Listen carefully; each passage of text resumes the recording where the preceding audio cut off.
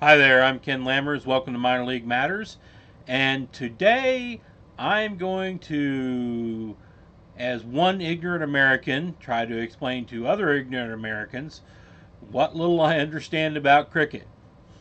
And so, let's get cracking.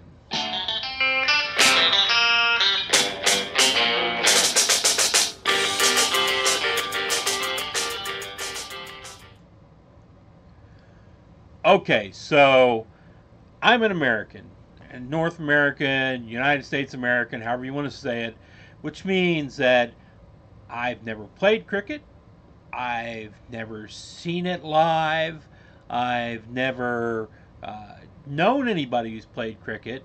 Uh, I do understand. Well, I live in a hemisphere where I don't think barely anybody plays the sport. Yeah, I think there's probably some people in the Caribbean and maybe some people at the fancy up north schools, you know, like Harvard or someplace in Connecticut or something like that, right? But not generally played in the United States. Uh, it's not even a tertiary sport in the United States, right? There have been attempts to start professional leagues, and they've all pretty much flopped. I think it's tried two or three times and really hasn't even got off the ground any time, right? It's kind of a shame. It, it looks like a fun sport, uh, but it just hasn't got going. Primarily in the United States, you know, you hear about uh, cricket being played. You know, it's, it's some throwaway line on uh, ESPN or some Fox Sports show, and they say, you know, in a test match in uh, Brighton yesterday, or Melbourne, or Mumbai, uh, you know, such and such team from you know, the Australians beat the South Africans, you know, 492 to 456. And the match only took four days. And you're sitting there going, what? You know, and th- all this does is contribute to Americans going, holy cow, you want to talk about an offensive oriented game? We love offensive oriented games. That's great. Uh, on the other hand, you know, with Americans who have been griping for years that baseball takes too long to play and have finally caught to the fact that football takes longer and has more dead time than baseball, you know, uh, really a you know four or five day game in cricket, yeah, just doesn't. It's not American. It's not the kind of sport that's going to catch in America. Um, and you look to see where the sport has really caught. It's caught in places where the British Empire reigned, uh, with the exception of Canada.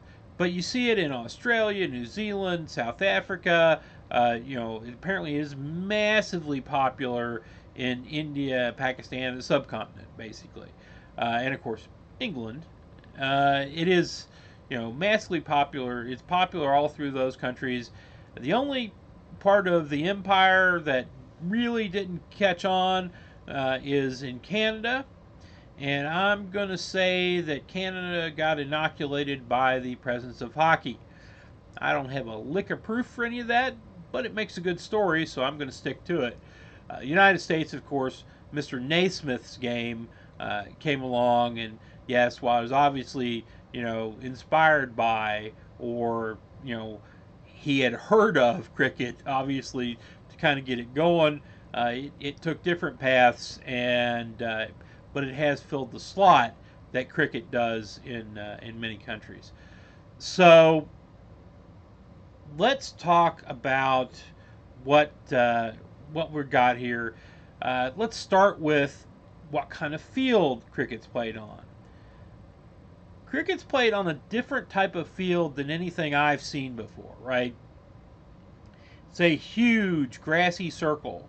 Uh, figure an American football field and then another half of an American football field, and it, would be in a big circle rather than a rectangle, right? Uh, and around the big circle uh, is supposed to be a rope that goes all the way around the circle. Uh, although apparently now they use you know styrofoam barriers, you know little barriers or whatever that are about four inches tall, right?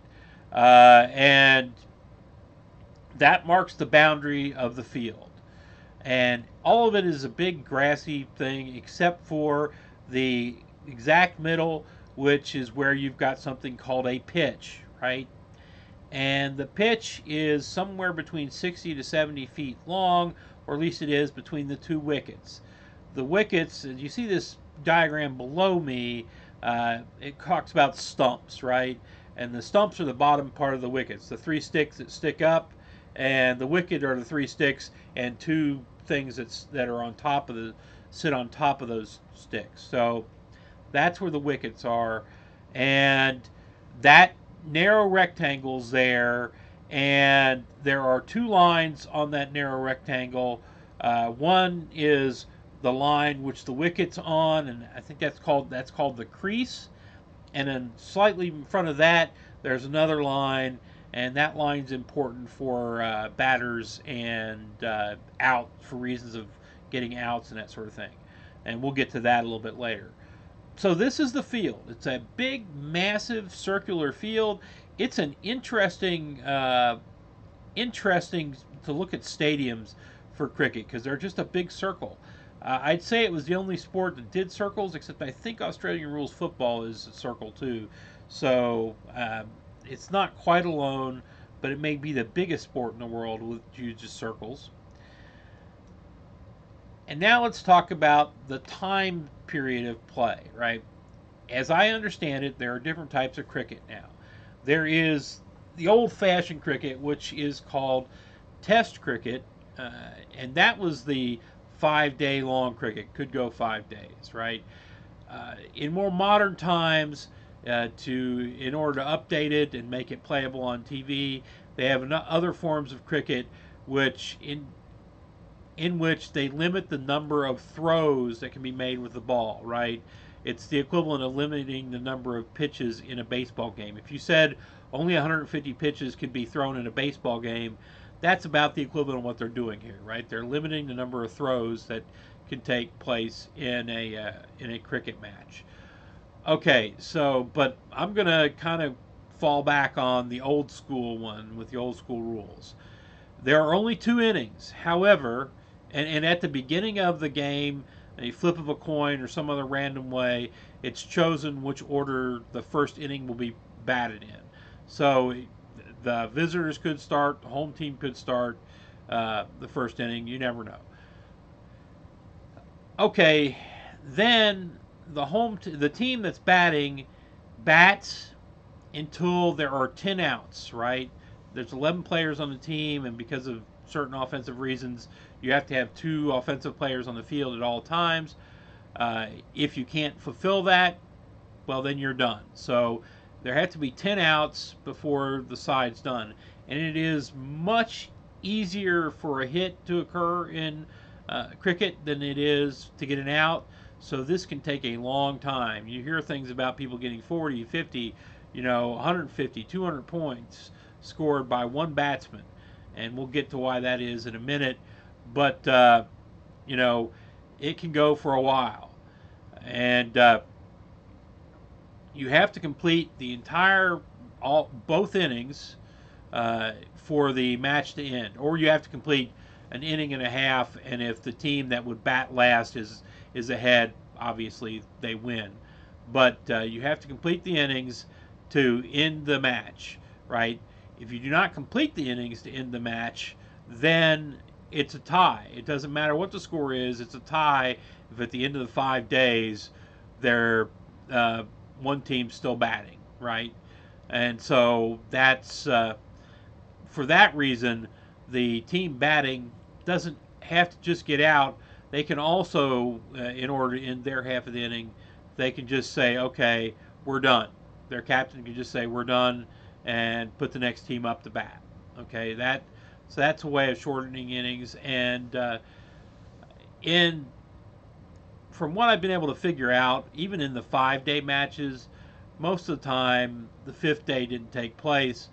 The fourth day was iffy, so you're probably talking a day to three days really, and then maybe a fourth, and then really rare occasions five. You also have to understand that this isn't uh, that there was time period that within which the game was played in a day. And as I understand it, and I'm probably getting this somewhat wrong, time period started at 10 a.m. and went to 6 p.m. and uh, there was a break for lunch and a break for tea time. It is a British game, so you got to make allowances. So there's a break for those, and at the end of at the end of 6 p.m. it's over. Now I'm sure that that's changed some with television and all that, but uh, that's that's basically the way it, it's run. So 10 to 6 for a number of days that cannot go longer than five, with both teams trying, well, at least the team that's ahead, trying to make the game come to an end so that it can win. And the other team can keep trying to keep the game rolling so that uh, they don't lose. It's an interesting concept. Okay, so now we've talked about the field and the time. Let's talk about the basic equipment. Here's your basic equipment for uh, cricket. You have the bat down here right below me. That is, you know, it's not, it doesn't look like it came off a lathe like American bats do. It is flattish. Um, although it appears to be a, a, a bit of a curve in them, uh, a little bit of a scoop, but uh, the bat's flat fronted, and boy, they can if they can get a hold of a ball and it's coming slow enough, they can turn it all sorts of directions, which is you know an interesting thing about uh, this mat this game is that you know there are no foul lines, so you can hit the ball if you can scoop it and throw it over your shoulder uh, and it goes wherever it goes, that's just as valid as if you hit it forward and straight ahead. Uh, you know, any direction you hit it, you see a lot of guys, if they get a hold of a slow pitch, that will try to throw it at 90 degrees, right? So that they can, uh, you know, throw off the defenseman, that sort of thing. Okay, so the ball here is this thing in the center. Looks a lot like a croquet ball, uh, but I went and looked to see what they're made of. It looks in many ways like a baseball, you know, rubber core, kind of rubber things around it, rubber band type things around it. Big difference apparently is that it is on the outside, there's a plastic ball cover, and then around it is sewn the leather. And you see here that it's not sewn the way an American baseball is, it is sewn so that it is around the circumference in one in uh, just one seam. Uh, it's kind of interesting.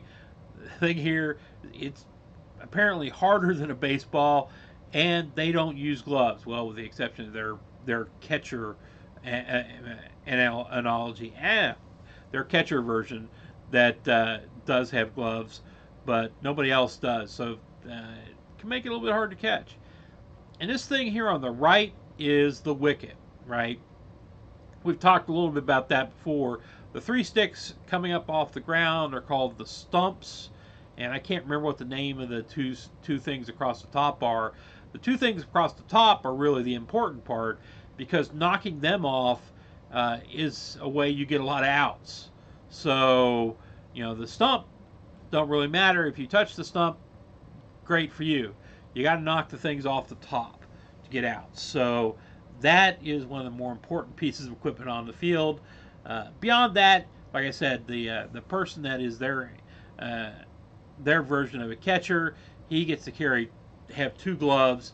Nobody else does, and the batsman generally has what looks like a miniature version of an NFL helmet on his head, so that he doesn't get his head clobbered by the rock hard ball. Okay, let's talk about offense. How do you score in cricket? There are basically three, well, there are three ways you score in cricket. Uh, when the ball is thrown, the guy who's the batter, uh, in this thing they call it a striker, uh, tries to hit it, and generally does. I mean, most of the time the ball is hit, right? Uh, now, there are two offensive men on the field. There's the batter and across from him, next to the other wicket, the batter's next to one wicket, and next to the other wicket is the non-batter, but who's also an offensive guy. Think of him as a man on base. Uh, he's there, but he has to be there. There always has to be two offensive players on the field. So, how do you score? Well, the guy who's batting, if he hits the ball and it goes all the way through through in the air and lands on the ground on the other side of the rope that's outside the entire field, that's six points. You're gonna call that a sixer, right? If he hits the ball and it rolls across the ground and hits the barrier, hits the rope, or it bounces across the ground and goes over the rope, that is uh, four points. Okay, and the third way of scoring is a little bit more complex.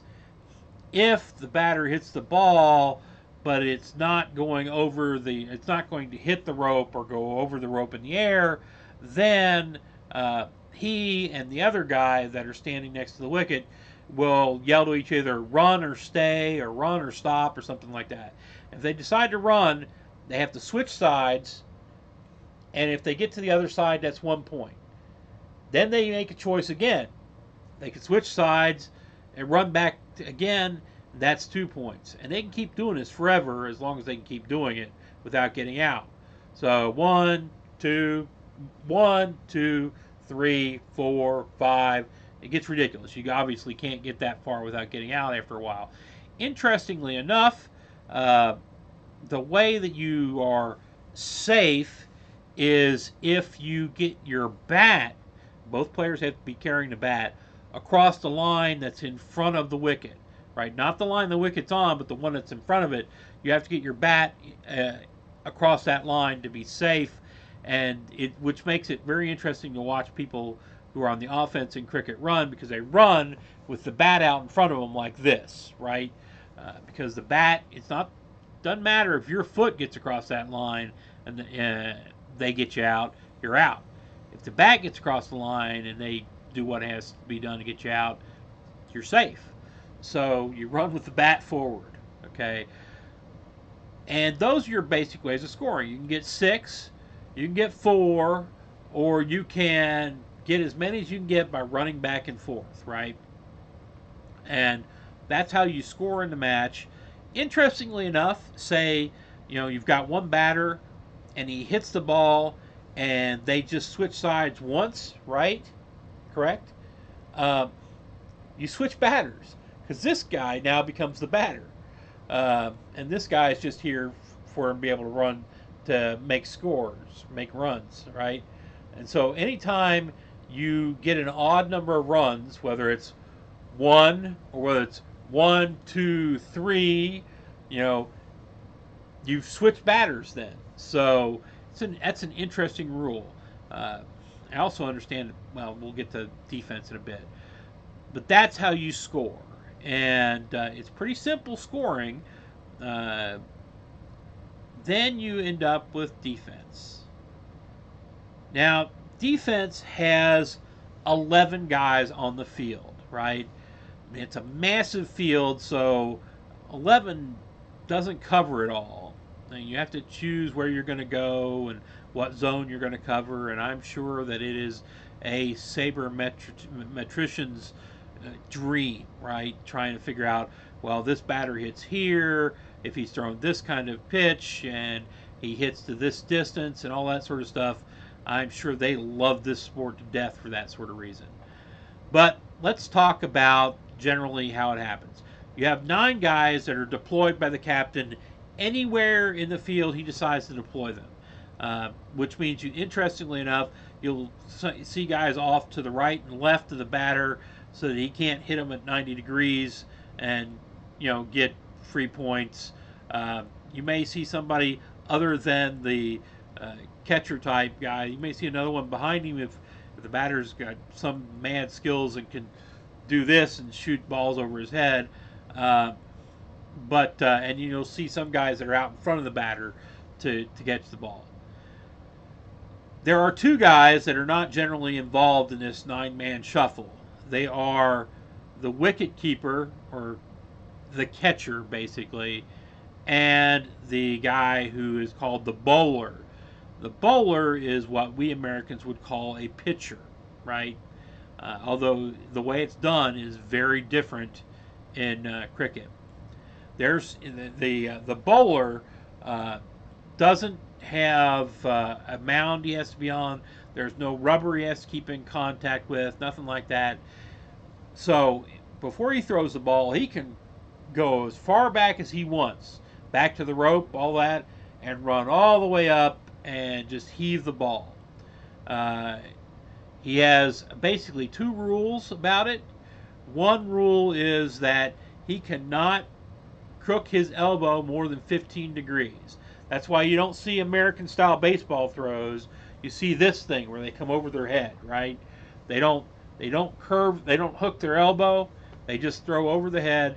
So they'll run up all the speed and they'll do that, right?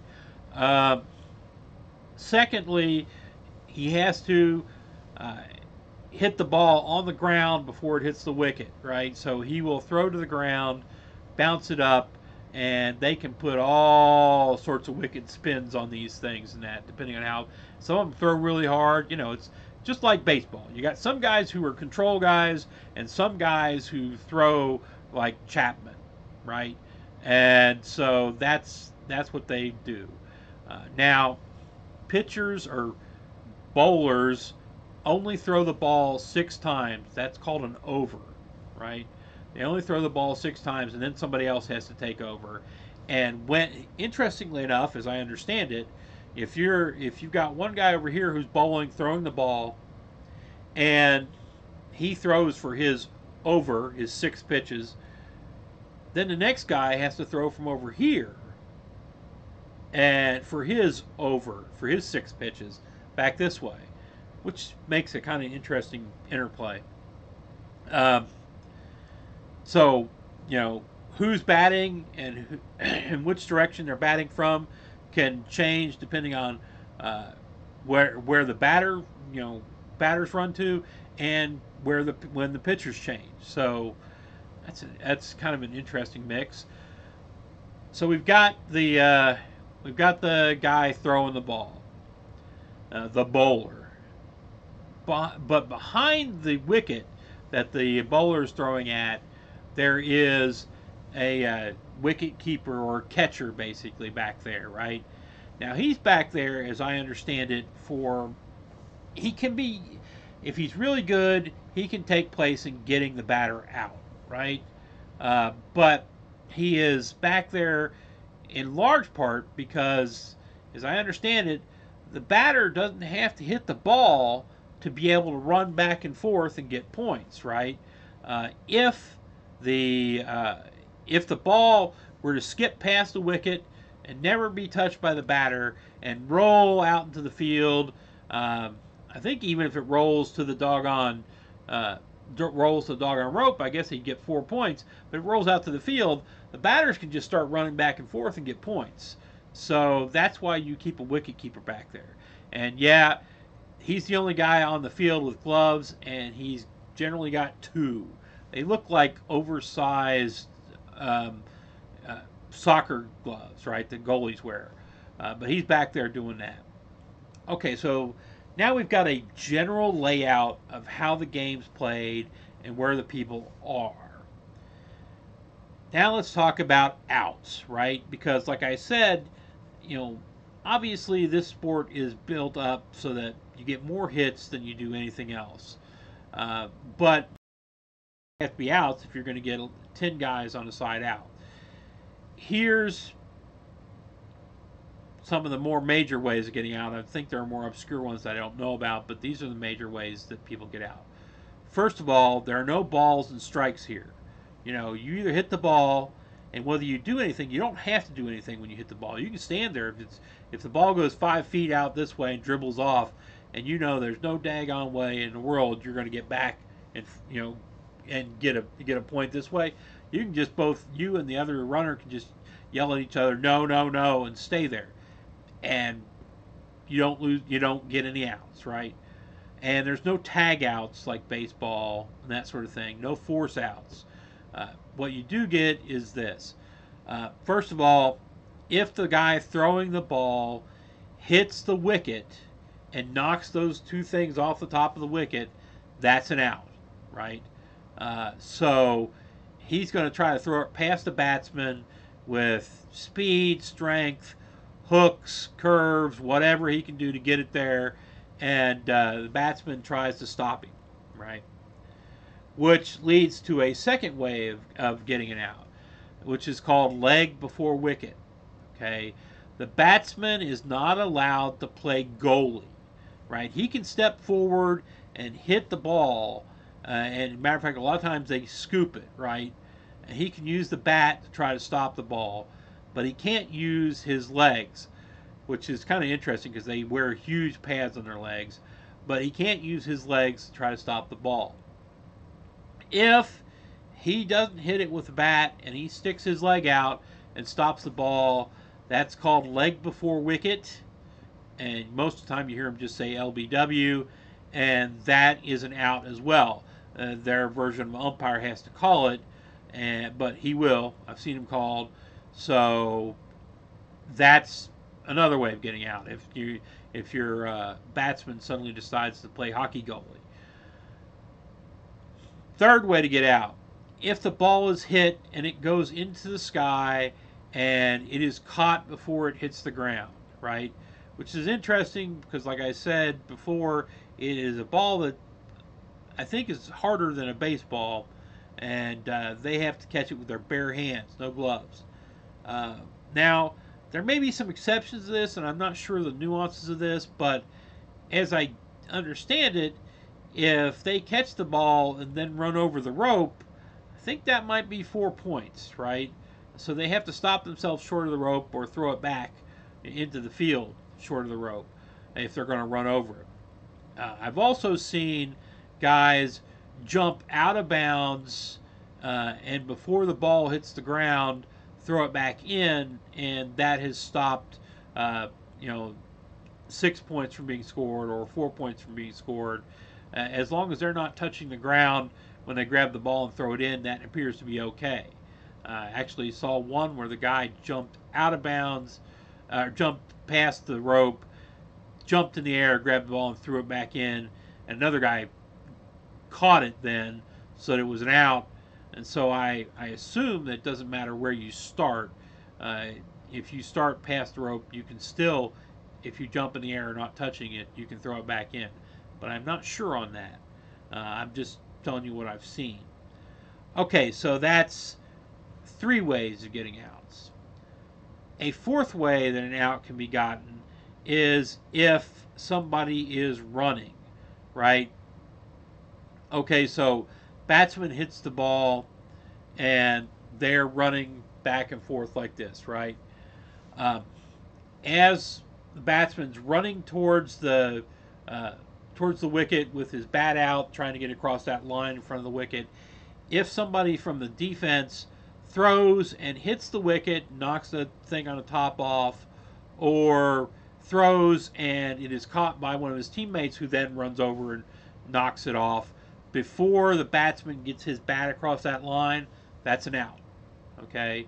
So we've got caught in the air, LBW, uh, we've got pitch hits the wicket, and we've got uh, the running back and forth out. Uh, let's see what else is there. There's two others that I know of. Uh, one is double hitting the ball. You are not allowed to hit the ball more than once when it's thrown to you, so you can't just pop it up in the air and go whack, right? Uh, that would be an out. You have to hit it with, uh, you know, the first time you contact the ball. Uh, and the last way is that uh, the batter, when they bat, quite often if not always, will move forward of the line in front of the uh, wicket. You know, there's the wicket line, the crease, and then that line in front of it. The batsman will will quite often, if not always, when he goes to hit that ball, he'll move in front of that line in front of the wicket. If that ball then goes past him and doesn't knock the wicket over, wicket over, and is caught by the wicket keeper, the, their version of the catcher, the catcher can run up and knock off the things off the top of the wicket. And if the batsman does not get back across that line before the catcher runs up and knocks the top of that wicket off, he's out. So uh, you would think this is an unusual thing, but apparently there are a couple guys who are catcher types who I'm sure in conjunction with their pitchers are really, really good at this. And uh, you can see replays on this sort of play if you go and watch YouTube. But uh, I think I've covered all the major forms of outs. Caught in the air, uh, hit by hit, the wicket gets hit by the pitch, uh, the uh, the batsman plays goalie and gets a uh, leg before wicket, uh, double hit, the uh, caught running back and forth, the wicket's hit while you're running back and forth, and put out by the catcher. That's the ones that I understand. Now, I understand there are a few more obscure ones out there, but those are generally, I think, the ones that you're going to run into in a match. You may run into some others, uh, but I think these are enough to really get you started understanding what it is. Okay, so strategy. Obviously, this is, despite the fact that it's kind of confusing because, you know, I've never played it. If you're an American, you've never played it, you didn't grow up with it.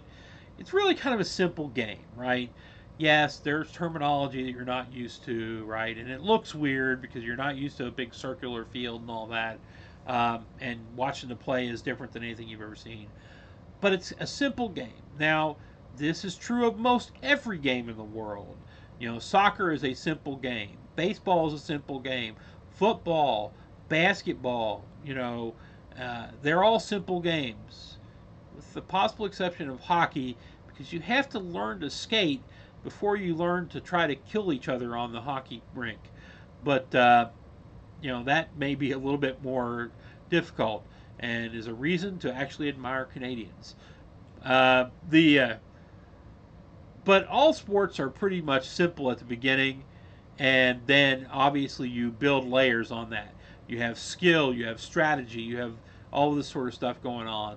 And in cricket, like I said before, the sabermetrics must be nuts trying to figure out what zone that people should be deployed in to catch the balls, where this guy most likely hits, and all that sort of thing. Uh, and I'm probably sure it goes the other way too. Batsmen being told, well, if this guy's here and you do this and that, you can hit better. I'm, I'm sure it's a sabermetric dream, right? Trying to figure out deploying people who, who, what, where, when, how. Uh, but uh, beyond that, there are some over overweening uh, kind of strategy things. Uh, I again, I don't have a nuanced understanding of this sport, so I'm missing all sorts of things. I'm sure, but two things kind of come up. You know, one is the uh, the captain of the team may decide to stop his team from batting anymore because he doesn't want them to bat so long that time runs out, right? So if his team is, you know, both teams have batted once, his team is batting uh, at the or at first in the second inning, first, and uh, he has a, you know, 800 to 50 lead. He may then just decide, no, that's it, we're done. Uh, we're not batting anymore. We're going to put you up, right? And the reason he would do that is because he's trying to get to the end of the match. If he doesn't do that, he just keeps scoring and scoring and scoring. At the end of the match, despite the fact that he's got you know a gazillion runs, the other side's got 50. Uh, he doesn't win. It's still a tie because time ran out. So you would try to position it so the other team would uh, you'd have an opportunity to get all 10 outs against them and end the match, right? That's one kind of strategic moment. Uh, another kind of strategic moment is uh, if you're, you know, start out the first inning and let's say the home team bats first and the visitors bat second, and the home team gets 450 points and the visitors get 25 right? Uh, at the beginning of the second inning, the home team can elect to start batting at the beginning of that inning or to wait until after the visitors have batted. And that way you can put the visitors to it. Uh, and uh, if you put the visitors to it and end the match, because, you know, if they're still behind when you get all their guys out, even, um, then there's no reason for you to bat at the end because you've won already, right? So that's what uh, you might do, particularly if you thought time was going to be tight. You know, you've scored 800 runs and you've taken up two days, and then they took a day to get their 50 and uh, or their 100 or whatever, and then you uh, might choose to put them back on the fourth day so that you can get the match ended because you know that if you batted next, you'd score another six or seven hundred runs and probably take another two days and run out the clock. So there's some strategy there in which you just basically, uh, you know, let them bat twice so that you can uh, so you can win the match, right? I am sure there's a lot more strategy to this than I am missing, but again, I am fairly new to this and do not have the nuance. If you want nuance, go hunt up a Brit or an Indian. They probably got nuance. I'm just trying to give you the basics. Okay, so that wraps up today, right? Uh, if you have comments, leave them below. I am sure that I got a million things wrong today or slightly misunderstood or whatever. Leave comments. Tell me, or more importantly, tell other people who've seen this video, wait, no, no, he, he needs to understand this, that, and the other thing, right? Tell them that.